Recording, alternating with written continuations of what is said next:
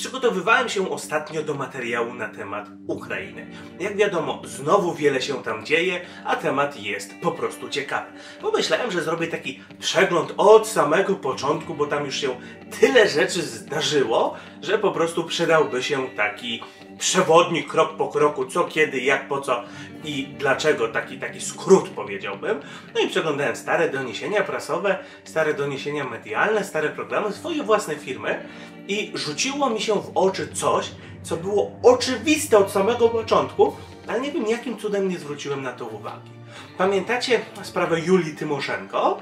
Ona wtedy siedziała w więzieniu. Siedziała w więzieniu za wałki. Ona po prostu dopuściła się poważnych nieprawidłowości w handlu surowcami energetycznymi z Rosją. Siedziała więc w więzieniu za, można powiedzieć, przestępstwa podobne do kryminalnych, prawda? Natomiast Zachód był śmiertelnie oburzony. Jak to polityk może siedzieć w więzieniu? Nieważne za co siedziała, od razu zrobiono z niej mm, męczennicę, zrobiono z niej więźnia politycznego i jak tylko Majdan e, przejął władzę, ona została wypuszczona. Nawet próbowano z niej zrobić mm, swoistą głowę tego kolejnego przewrotu, kolejnego przejęcia władzy. No Majdan się nie zgodził, ludzie się nie zgodzili, bo ona już była mocno umoczona, ale zwróciło to moją uwagę na jeszcze jedną rzecz. Zacząłem sobie przeglądać inne afery gospodarcze, inne afery z udziałem polityków, w ogóle afery polityczne. I zauważyłem, że domeną świata zachodniego jest to, iż afery z udziałem polityków wyrastają co i róż. Media o tym po prostu nawołują co, co, co chwila. W Polsce mamy tak naprawdę co kilka tygodni jakąś mniejszą lub większą aferkę. Na świecie jest tego jeszcze więcej. Oczywiście polskie media no, podają tylko takich totalnie mm, wielkich informacji, ale tego jest masa. Natomiast cechą wspólną tych wszystkich afer jest to, że prawie nigdy żaden polityk nie poniósł należytych konsekwencji. Wróćmy do, y, do polskiego podwórka. Afer jest masa. Y, afera Rywina, afera taśmowa, afera hazardowa, mm, afera z forsą znikającą z ZUS-u, afera mm, z y, nieprawidłowościami przy wykonaniu i tu wpisz sobie prawie dowolną, dowolną inwestycję taką fizyczną typu most, metro czy, czy jakiś, jakiś stadion i, I co? No, prasa zauważa nieprawidłowości, e, prasa mm, o tym donosi, ludzie przez chwilę się bulwersują, a później jest cisza. Zobaczcie, w zasadzie tylko w aferze Rywina ktoś poszedł siedzieć i to też poszedł siedzieć nie ten, co co zawinił, to trzeba moim zdaniem, bo kto poszedł siedzieć? Poszedł siedzieć Rywin, a Rywin był tylko i wyłącznie posłańcem. E, w tej aferze przecież chodziło o to, przy to... Mm, przypomnijmy, że y, jedna ze stron chciała sprzedać drugiej ze stron ustawę. No to czy zwykły producent telewizyjno-filmowy y, byłby w stanie mm, nie wytworzyć ustawę, żeby później móc ją sprzedać? No nie, oczywiste jest, że nie. Tymczasem w większości afer właśnie jest taka sytuacja, że afera powstaje i afera się kończy tym, że wszyscy o niej zapominają. Zobaczcie, Mamy y, na przykład aferę związaną z tym, że przy, mm, nazwijmy to, kasowaniu OFE, takim quasi kasowaniu OFE, mm, z systemu e, wyciekł, y, zniknęło ileś tam y, wiel, jakieś tam ogromne sumy pieniędzy wiecie, jak to się skończyło? Czy wiecie, czy ta kasa się znalazła? E, czy wiecie, czy jeśli się ta kasa nie znalazła, to kto ją ukradł, gdzie jest i czy został postawiony w stan oskarżenia? Nie. Po prostu nie. Po prostu afery się pojawiają i afery giną. Politycy stoją ewidentnie ponad prawem. Jeżeli jeżeli normalny człowiek sobie choruje, no jest normalnie chory, rzetelnie, uczciwie chory, ale jest chory bardzo, więc ma dłuższe zwolnienie, no to jest rzeczą normalną, że ZUS bardzo często na wniosek pracodawcy kontroluje, czy to zwolnienie jest prawdziwe, czy to zwolnienie po prostu nie jest lewe.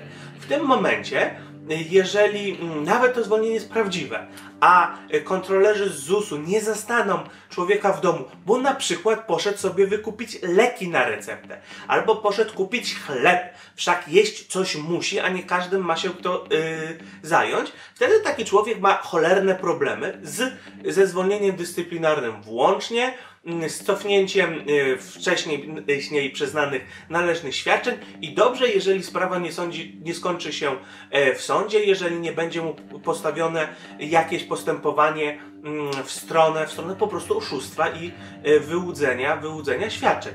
Co się dzieje natomiast, gdy żona znanego posła przez, ponad, przez dwa lata nie chodzi do pracy i praca donosi, że chce swój proceder kontynuować, bo po powrocie z jednego wolnego przepracowuje jeden dzień i znowu przynosi zwolnienie lekarskie?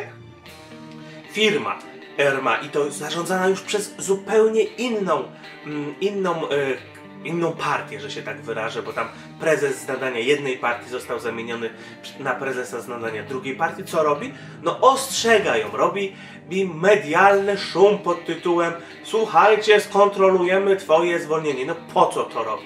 No oczywiście robi to po to, żeby zyskać politycznie, żeby ludzie zobaczyli, o, o ta partia to jest zła, bo żona znanego promiennego posła robi wałki, ale również ją ostrzega. Przecież jeżeli ktoś zostanie ostrzeżony o kontroli, to się na tę kontrolę przygotuje. Jeżeli to zwolnienie było przykładowo na zapalenie płuc, to pójdzie, yy, gdzie się zgrzeje, pobiega trochę yy, po zimnym powietrzu i, i będzie miała to zapalenie płuc, prawda? Jeżeli mamy do wyboru albo samemu się wpędzić w chorobę, albo mieć straszne, poważne problemy z odsiadką włącznie, no to chyba lepiej to. I to się kończy, ale ta osoba nawet nie musi tego robić de facto przyznając się do winy, bo nie próbując dochodzić swoich mm, spraw, y, do czego doprowadza? Do doprowadza do rozwiązania umowy o pracę za porozumieniem stron. Czyli tylko tyle. Okej, okay, ja KGHM zgadzam się, że przez dwa lata brałaś ode mnie pieniądze za nic, nie ma problemu, po prostu już więcej nie bierz.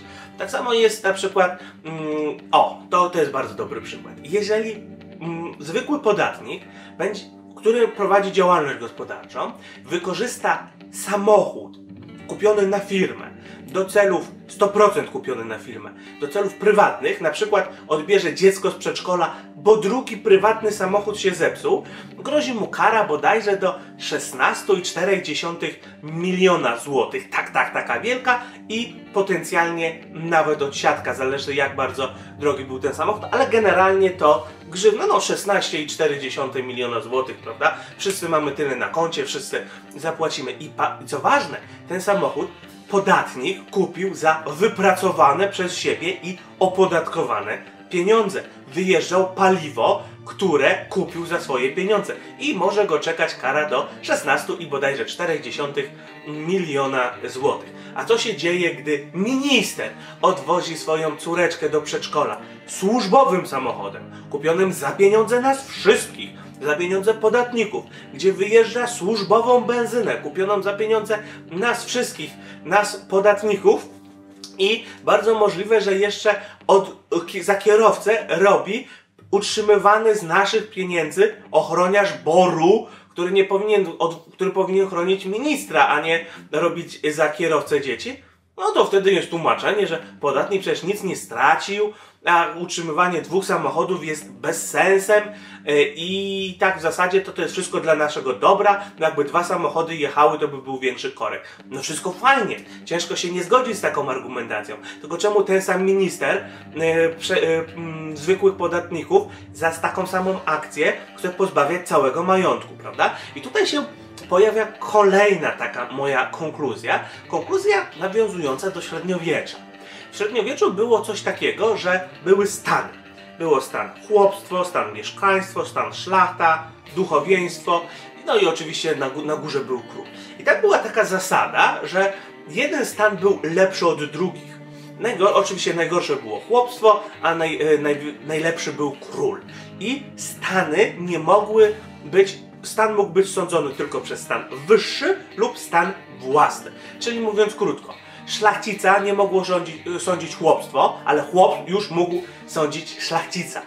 I, I dla każdej każdej kasty, dla, przepraszam, dla każdego stanu de facto było troszeczkę inne prawo, poza tym, że nie mogło go pospólstwo rządzić. Zastanawiam się, czy tak samo nie jest teraz w Polsce. Zobaczcie, politycy ewidentnie są bezkarni, no to, to widać, prawda?